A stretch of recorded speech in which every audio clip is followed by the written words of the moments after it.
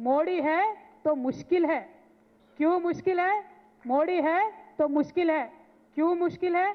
क्योंकि आज जीडीपी पाताल में है और महँगाई आसमान में है।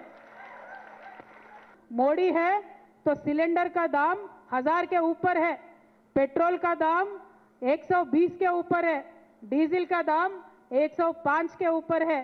तेल महँगा है, नमक महँगा है, दाल महँगा है कैसे जिएँगे लोग? ये एमपी साहब, आप बताओ अमेरिका में जाके। नॉर्मल झूठ मूठ बात मत बताओ। ये सारे बातें बताओ। रुपये का जो वैल्यूएशन है, वो पाताल में है। लेकिन बेरोजगारी जो है, वो आसमान में है।